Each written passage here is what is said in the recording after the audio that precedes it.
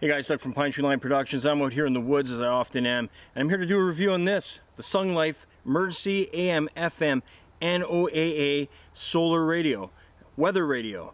And it's got a lot of features, and there's one feature that made me actually interested in reviewing this product. Stick around to find out.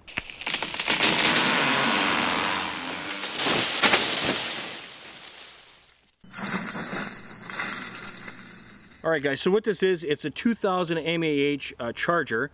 It's a flashlight. It's an SOS alarm. It has an additional light source for reading or other things. AM FM radio and it's also a weather radio. So it can find seven different weather uh, channels that exist as part of the NOAA network and also uh, tunes into Environment Canada and Canada. So if you're in the US, NOAA, if you're in Canada, it's going to be Environment Canada. So there's four ways that you can uh, get this thing working. And uh, the most conventional way, I guess, is uh, actually three AAA batteries, which would go on the back here, and uh, as a backup. But the three other additional ways are the more, most interesting to me. You can charge it via computer, any kind of uh, charging block through a, a, wall socket, any kind of battery bank will, will charge it as well. Second interesting way, I guess, would be the uh, solar panel, a small solar panel on the top here. So as long as it's outside and there's sun. The most interesting way to me, and the, and the thing that made it uh, kind of a, a, game changer for me in wanting to do a review on this, is the hand crank. So one minute of hand cranking uh, at about 120 RPM uh, will provide five to seven minutes of uh, flashlight time and about three to five minutes of radio time. This hand crank uh, is something that allows this radio to never ever lose power uh, no matter what the weather conditions are, what kind of circumstances, if the batteries burn out. Uh, the internal battery is a lithium battery, so it's rechargeable. It's, it's gonna work for a long, long time. With the crank, the hand crank, that's the game changer on this radio. So in the back here, you have uh, a micro USB.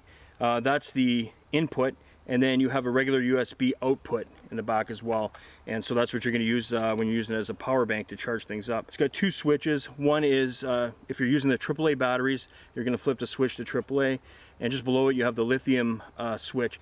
You're going to want to keep it on that and that's for uh, anytime uh, you're using the lithium battery or you want it to charge through the lithium battery. If you are charging it uh, whether it's through the micro USB or you're charging it through the solar or hand crank, you want to take the top switch and switch it down to the appears to be a little cell phone here. You want to make sure that the radio is off anytime you're doing any kind of charging. That's uh, that's one of the things that it allows the uh, lithium battery to charge. Uh, it's also got an SOS feature. You can hear that pretty loud and that's an important part uh, as far as a safety feature on that. The flashlight is here. You can see that. The additional light for uh, reading or what have you is up here where the uh, solar panel is. So you can use that for reading or if you wanted to light up a bigger space, uh, it's there underneath the solar panel. You'll have to move the antenna uh, up in order to do that. Uh, speaking of the antenna, that's what works with the radio. So on the side here you have a tuning button and you have the on and off and volume button. So if you turn that on. Showers ending near midnight with risk of thunderstorms. All right, so that's Environment Canada. So I have it tuned into Environment Canada, and if you're in the States, uh, you can find the proper tuning to the area you're in with those seven channels. So it's on the uh, little switch here, which is on the, uh, the weather broadcast, and then if you uh, move it to FM and you turn it on, tune it up, you can find the radio. The weather radio only works in North America. It doesn't work overseas, different system. If it's not fully charged, but it's on. You'll see the red light here. It'll actually turn green once it's fully charged. The 2000 uh, mAh battery can provide up to 30 hours of the flashlight or 8 hours of the radio. So when that's fully charged, uh, you're getting a lot of beef out of that. Uh, it can charge a number of items including cell phones and tablets. It doesn't charge all cell phones and I know this to be true because it didn't charge my iPhone.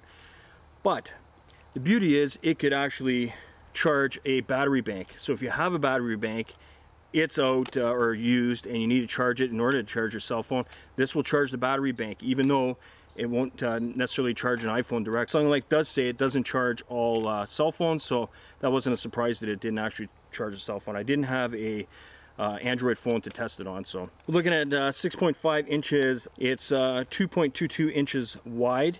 It's uh, 3.2 inches high. It weighs about 370 grams, so about 0.8 of a pound. Very lightweight All right, guys. So the pros of the uh, the unit itself is uh, is the hand crank. This is the game changer for me. You don't have to rely on, on solar if you're into bad weather, cloudy weather where it's not going to charge uh, with solar. If your batteries are burnt out, and if you don't have a battery bank or your battery bank is done and uh, you don't have one with you or it's not charged uh, or out of charge, this will charge it. The one thing that's a constant in this is actually the uh, the hand crank. That sells the radio to me. That, that's the thing that makes me want to have this radio. There's different situations if you're in the outdoors. If you're out of cell service, if you're in a weather emergency or you're out in a boat, uh, a lot of different situations where this might come in handy or you have it in your vehicle, vehicle breaks down. You know, you can imagine some of the scenarios, but to have this with you could be invaluable. could be, you know, a last resort and to get, you know, that one last charge of a, an item, whether it's your phone or an, an additional light or to use this for light. Uh, remember, it's dark half the time. If you're out in the woods and you don't have any light with you, but you have this, I mean, that's a great thing to have. The other thing is it's made out of plastic, so it's lightweight. Because you have a radio, you never lose touch with the outside world, no matter where you are or what the situation is. Too often we all rely on our cell phones a lot, so we'll carry our cell phone, we depend on that to give us the weather, to give us you know, updates of what's going on in the world. But if you're getting to an area where you don't have cell phone service anymore, you can't use that cell phone for that. So you can use this old-fashioned, use the radio, but if you're out in the outdoors, one of the most important things is weather. If you're on a canoe trip, uh, if you're just camping in the in the backcountry, or even if you're just at your camp or out on the on a big water on on your boat, something like that, that's where this can become very valuable. So the emergency beacon, I mean, you heard how loud that is. I mean, that's to grab people's attention if you need it. Especially, uh, I'm thinking if you're in a boat and you're out in the water, uh, that might work out really well. Or if you're in a remote area, that sound in the middle of the woods is to be loud. When you're dealing with plastic and it can potentially uh, be dropped and, and uh, maybe get damaged somehow.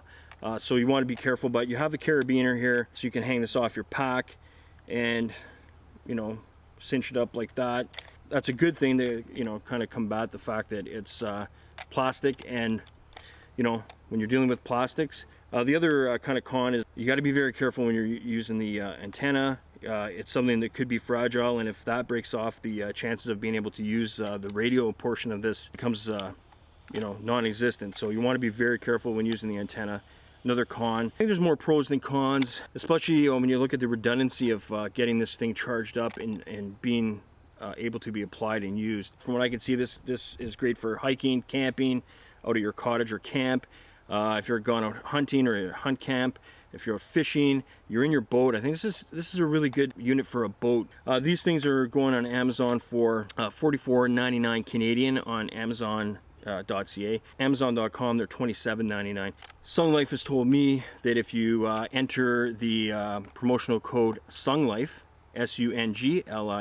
S-U-N-G-L-I-F-E, you'll get 20% off. Uh, so when you want to do that when you're going through the checkout. Sunglife sent me this uh, radio to review. I'm not being paid, I haven't been asked to say anything uh, specific about the radio, just to give my honest thoughts about it. And the nice thing that Sunglife also did for us is they sent us a second unit. We're going to give this away. So if you're interested in uh, having a chance at winning this, you want to be a subscriber to the channel, uh, you want to like the video, and you want to put in the comments uh, with your comment or as a comment, I'm in. That's it. That's all you have to say. We'll pick a winner and we'll pin the winner here, right here on, uh, on the YouTube video in a couple weeks from the time that this airs. Other than that, guys, uh, appreciate you taking the time to watch. Uh, subscribe to the channel, uh, give us a like, follow us on Instagram, Facebook, Twitter. PTLOutdoors.com is our website. And that's it for now. Take care, guys.